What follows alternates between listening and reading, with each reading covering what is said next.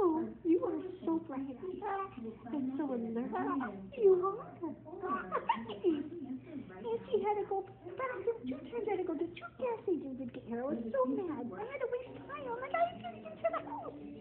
I had to get, and I had to go again when I came here. I'm like, Auntie gets old, you have to go to the bathroom. I didn't a her. Next time I'm going to get a diaper. Okay?